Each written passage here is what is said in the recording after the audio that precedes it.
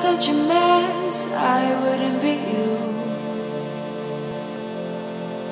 But I woke up to yet another morning out of the blue.